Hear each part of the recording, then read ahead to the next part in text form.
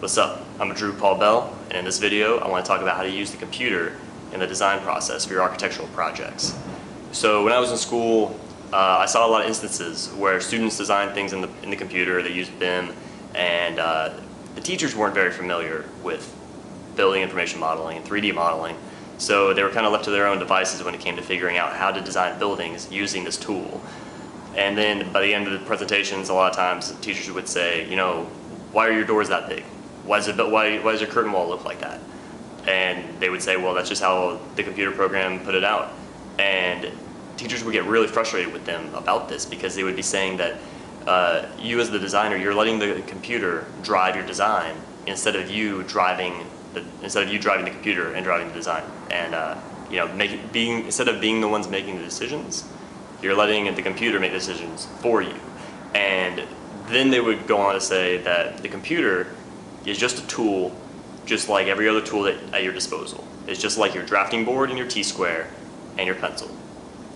And I think that the concept that this is a tool that you have to use and you have to drive it. You can't let it drive you. I think that's a very valid point, and I think that that's something that a lot of people need to hear. But then the second added on piece of that equation, which was that it's just a tool just like everything else, is a little bit of an oversimplification. And I want to make a point about this, which is that computer modeling programs, computer programs in general, is not just a single tool. They're all bundles of a bunch of tools. So it's not, it's, it's really more like you have your drafting table and your triangle and your T-square and a tool for drawing walls, and a tool for drawing slabs, and a tool for drawing roofs, and a tool for drawing sections, and a tool for drawing lines, and a tool for drawing circles, and a tool for drawing other drawings, and a tool for making page layouts, and on and on and on and on and on. So it's not, so to say that it's just another tool in your toolbox is a gross oversimplification. Don't go into using the computer and thinking that, oh, it's just one more little thing you're, you're gonna do. No, it's gonna be difficult, it's going to be hard. But there's a lot of stuff you have to learn to it. In the same way that you had to learn how to use a triangle the first time if you were hand drafting. You know, there's as stupid simple as it is, there's a little bit of a technique to it, and if you screw it up, it's obvious.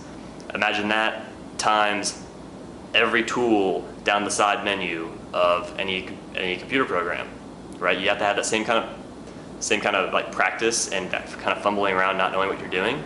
You have to get past that stage for a lot of those tools. And then a lot of those are even more difficult than just a triangle. So what you got to do though is, like I've said in videos before, get to the point where you're thinking about your design. You're, you're using these programs to think with.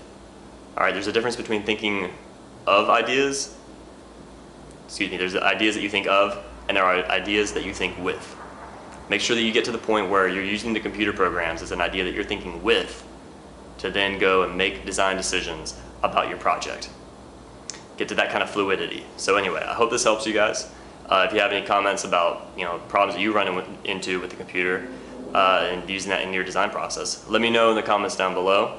But don't forget to like and share this video. I'll talk to you next time.